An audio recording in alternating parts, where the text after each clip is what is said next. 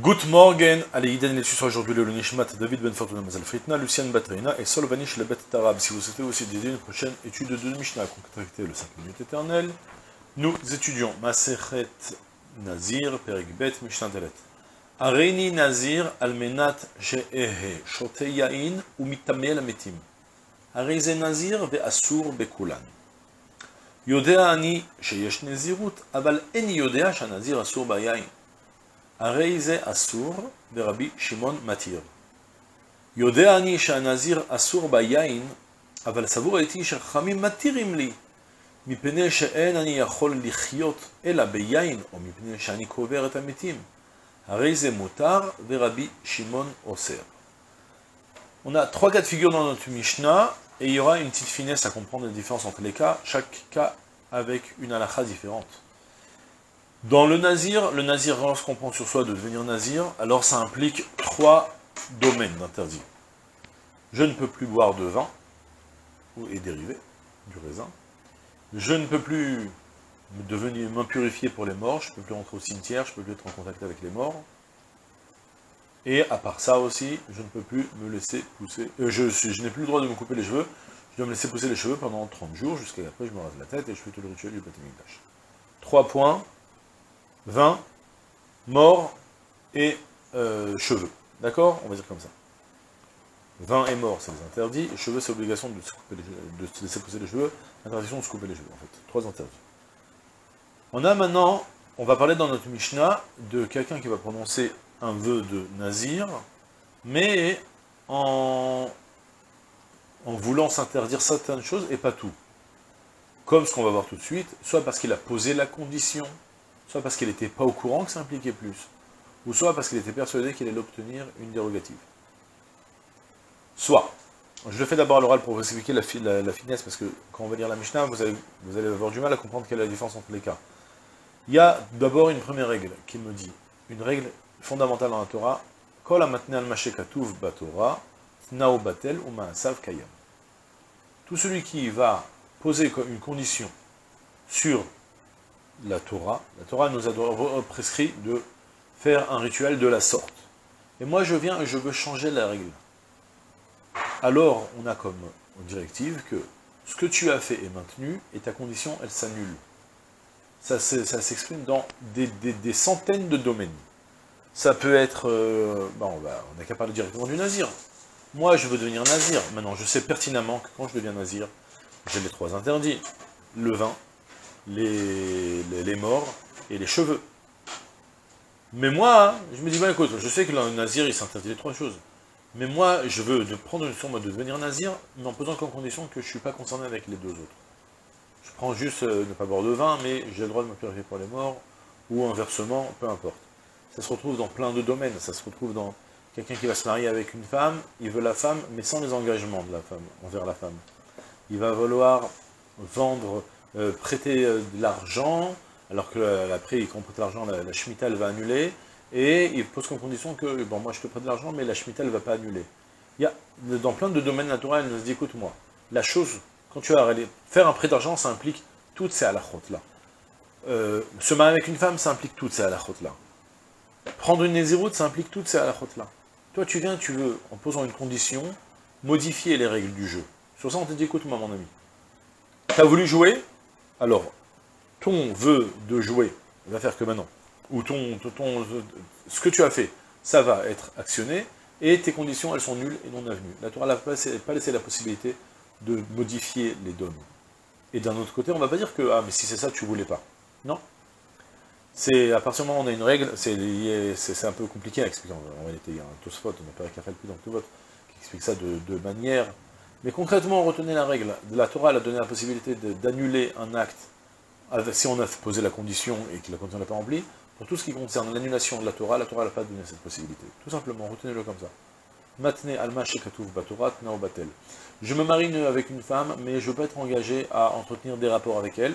Je ne suis, je marié, je suis engagé par tout ce que ça implique, et, j'ai et, et ma condition est nulle et non avenue. Je vends quelque chose, je vous vends quelque chose, vous savez que j'ai pas le droit de faire une ona, de vous arnaquer, à vendre plus qu'un sixième du prix, je transgresse un interdit de la Torah. Je pose comme condition, écoute-moi, moi ce qu'on achète chez moi, tu l'achètes, tu l'achètes, mais tu reviens pas me voir. Pas du tout. La Torah, elle a dit, lorsqu'on achète et que tu te fais arnaquer, tu repars voir le vendeur et tu lui dis, j'annule la vente. Et personne ne peut modifier cette donne parce que c'est impliqué. Il y a des moyens de contourner les problèmes. Là n'est pas notre sujet. Vous avez compris le principe? Tu prends un, une chavila, un groupe d'interdits, ou d'engagement, ou d'actions qui, qui vont engager des halachot. Tu t'engages avec tout ce qu'il y a, et tu ne peux pas poser une condition qui va annuler. Ça, c'est la première partie de la Mishnah, et je la traduis tout de suite, premièrement. Je prends sur moi la Nézirut, à condition que je vais continuer à boire du vin et devenir impur pour les morts. Genre, moi j'aime bien la Nézirut juste pour le, le beau coucou du... la belle, la belle, la belle couette, de, couette de cheveux, ça, dire, la, queue de cheval, samedi, mais c'est tout, je pensais, c'est pas que je pensais, je sais pertinemment que quelqu'un qui est nazir, il est engagé, pour le moment je parle du caron. Je sais pertinemment que celui qui prend d'être nazir, il est engagé par les trois halachot, mais moi je pose comme condition que je veux prendre la naziroute, mais à condition que je ne suis pas concerné par ça halachot, tu ne peux pas prononcer de tenaille, ta condition s'annule, et ton maasé est kayam, et dans ce cas-là, arezé nazir ve asur bekulan, tu deviens nazir et tu es interdit par tous. Fin du premier cas. Retenez bien, je sais pertinemment que le nazir est interdit partout, et je modifie la donne. Fin du premier cas. Deuxième cas, je ne suis pas au courant que le nazir est interdit par tous ces interdits. Moi, on me parlait de Shimshon avec sa belle queue de cheval et ses bouclettes, et du coup, je me suis dit, oh, moi aussi je veux être un beau gosse. Et j'ai pris moi une nézéro de me laisser pousser des cheveux. Parce que je pensais que c'était juste ce que ça, impliquait. Ou bien je savais qu'il fallait pas boire de vin. J'ai pris sur un zéro de vin, mais je savais pas qu'il fallait pas que je me coupe les cheveux. Moi, dès que j'ai les cheveux qui poussent, c'est moche, je suis toujours obligé d'être très beau. Ou, euh, ou inversement, je m'impurifie pour les morts. J'étais pas au courant. Là, c'est autre chose. C'est qu'il prend sur lui une nésiroute en ayant connaissance, une, une, connaissance partielle de, ce que ça implique la nésiroute. Donc en fait, il prend sur lui une nésiroute, en connaissant un, une halakha, sans connaître les deux autres, ou deux, sans connaître la troisième. Ce sent une, une nouvelle marloquette maintenant, à la différence du cas au premier où j'ai voulu changer la donne. Tu veux changer la donne, tu n'as pas le droit. Mais tu n'es pas au courant que la donne est différente, là ça va être différent. On va avoir deux extrémités. Quelqu'un qui va dire, non, puisque tu as quand même voulu prendre la Néziroute sur ça, sur toi, c'est la vie de Chachamim. Tu as voulu quand même prendre la Néziroute pour ne pas te couper les cheveux. Donc tu étais sérieux quand tu as dit Néziroute. Tu n'étais pas au courant que ça impliquait d'autres à la elle s'applique sur toi malgré toi. Rabbi Shimon va me dire, non, si tu n'étais pas au courant de tout ce que ça impliquait, tu n'as rien pris sur toi, et tu pourras même te couper les cheveux aussi. Parce que tu n'as rien pris. Quoi qu'il arrive, on ne va pas changer la donne. On ne va pas faire une nouvelle nésiroute partielle. La question, elle est juste, est-ce que tu prends tout sur toi ou tu prends rien sur toi Et c'est sur ça, la Michel me dit comme ça, Yodéani Sheyesh Néziroute. Je sais qu'il y a une nésiroute, je connais la... J'ai entendu parler du nazir, j'ai appris du navi quand j'étais petit qu'il avait le droit de se couper les cheveux. Aval Shanazir Asur Mais j'étais pas au courant qu'il avait pas le droit de boire du vin, je pensais juste ne pas s'impurifier pour les morts et ne pas se couper les cheveux, je savais pas qu'il fallait pas boire du vin. J'étais pas au courant. Si j'avais su, peu importe. Peut-être que je dis je veux être nazir, peut-être que j'aurais pas dit que je veux être nazir. Mais là n'est pas le problème. Pour le moment, quoi qu'il arrive, Tanakama il me dit Arrêtez Assour, tu es devenu interdit partout. Tu es devenu un nazir à 100%, parce que quoi qu'il arrive, peut-être tu avais conscience. C'est comme si que moi je voulais me marier avec une femme, parce que je pensais que se marier avec une femme, ça impliquait euh, que, euh, peu importe, ça, touche à plein de domaines. Ouais, ça peut genre, je veux me marier avec une femme, mais je savais pas que, quand j'allais marier avec elle, que mon ami, euh, mon ne pourra plus aussi se marier avec elle, parce que non, c'est devenu la mienne, c'est plus la sienne. Bah, bah, bah non, t'as pris une femme, c'est devenu la tienne. Être une femme, ça implique qu'elle n'a plus le droit de se marier avec personne, elle n'a plus le droit d'avoir des rapports avec personne d'autre, c'est devenu la mienne. Inversement aussi, d'accord, vous avez compris le principe. Là, dès que tu prends, donc tu prends une, tu prends sur toi la chose, en ayant une connaissance partielle de ce que ça implique, mais tu es sérieux dans ce que tu sais, et tu sais pas qu'il y a une suite. Sur ça, Rami me dit, ben, puisque tu étais sérieux de vouloir devenir nazir sur ce point-là, tu es devenu nazir sur tout, et Shimon, Rabbi Shimon, il va te permettre tout, même de boire du vin, et même de te couper les cheveux, et même tout, parce que tu n'as pas pris de naziroute. Si tu n'as pas eu connaissance parfaite, c'est déduit de psukim dans la, dans la Gemara, donc on ne peut pas extrapoler.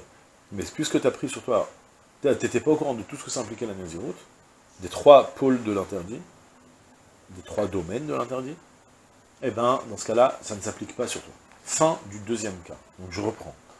Premier cas, j'ai connaissance de tout ce que ça implique, mais je veux changer les règles du jeu.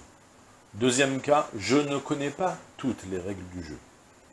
Nouveau cas maintenant, je le dis d'abord à l'oral, c'est que je prends sur la, moi la et je connais tous les interdits que ça implique la nésiroute.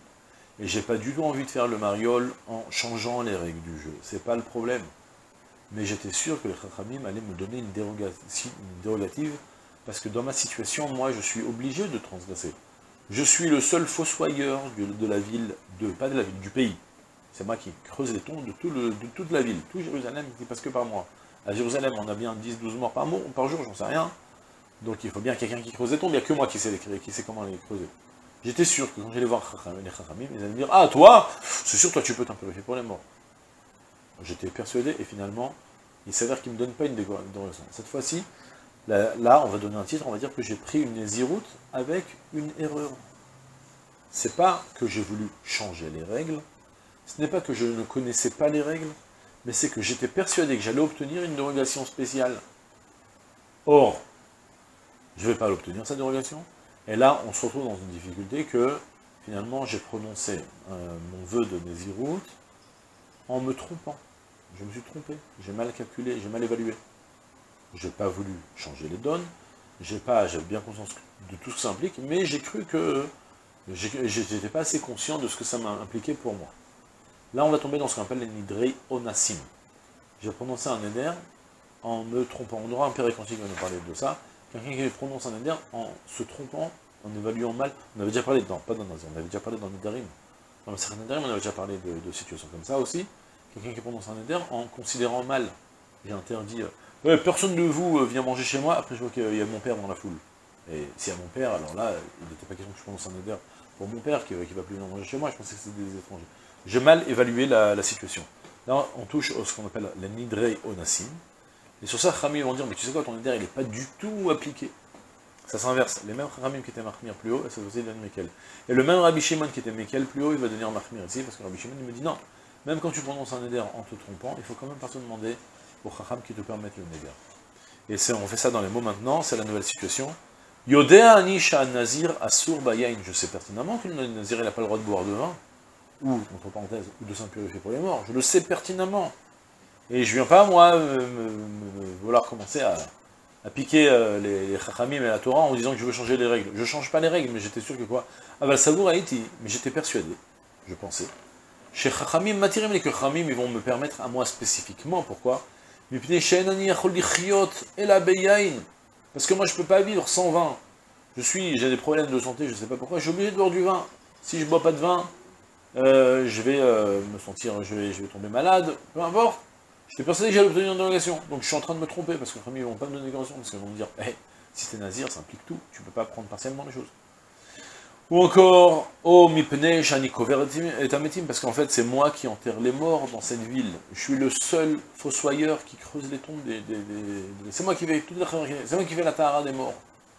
Personne d'autre peut le faire, quoi. On ne peut plus enterrer les morts parce que j'ai pris un peu de nazir. J'étais sûr qu'on allait me permettre de le faire.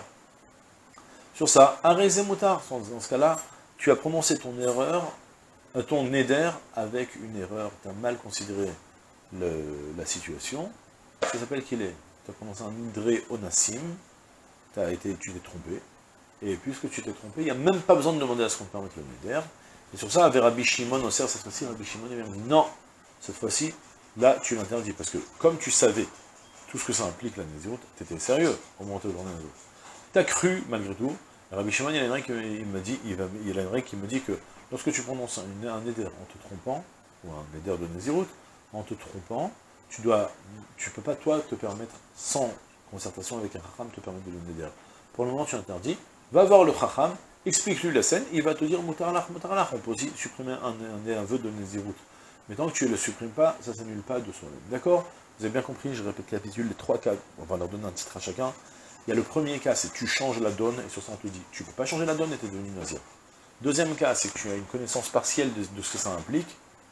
Chachami me disent, dans ce cas-là, tu as pris sur toi de devenir un vrai nazir, ça implique toute la route qui s'applique sur toi. Et Rabbi Shimon qui me dit, ah non, tu n'avais pas une vraie connaissance, une, vraie connaissance de, tous les pôles de la naziroute, ça, ça, tu ne viens pas nazir. Et la troisième situation, c'est que tu prononces un le neder avec erreur.